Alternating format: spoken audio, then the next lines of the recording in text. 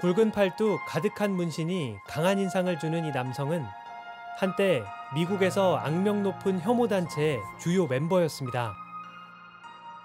크리스찬 피콜린이라는 이 남성은 책을 저술하고 각종 TV 프로그램에 출연해 자신의 선택이 얼마나 잘못된 것이었는지 그리고 그 단체에서 스스로 나오기까지 8년의 경험담을 전하고 있습니다. 이탈리아 이민자 가정에서 태어나서 생계로 바쁜 부모님으로 인해 외로운 10대를 보낸 피콜리니는 골목에서 만난 한 남성을 따라 국수주의자들의 단체에 가입했습니다. 세상을 잘 알지 못했던 그는 다문화 정책으로 인해 백인이 피해를 본다고 믿었고 이민자들이 범죄와 폭력을 저지르고 마약을 남용한다고 비난했습니다. 그러면서도 자신과 동료들이 그들을 향해 저지르는 혐오 발언과 폭력에 대해서는 철저하게 부정했죠. I was very passionate about what I believed in.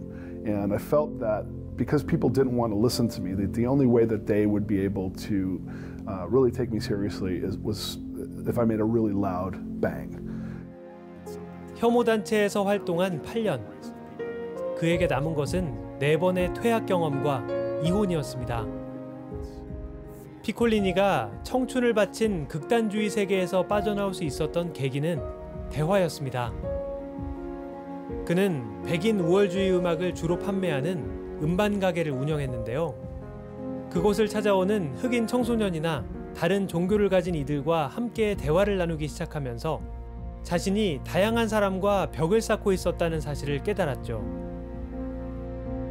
한때 혐오 발언과 폭력을 일삼았던 그는 자신이 단절되어 있었기 때문이라고 고백하며 증오는 무지의 산물이라고 강조합니다.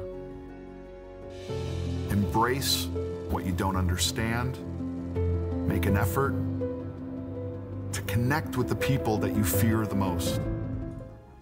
그가 20년 가까이 극우주의자와 세상의 많은 사람에게 전하고자 하는 단 하나의 메시지는 바로 공감입니다.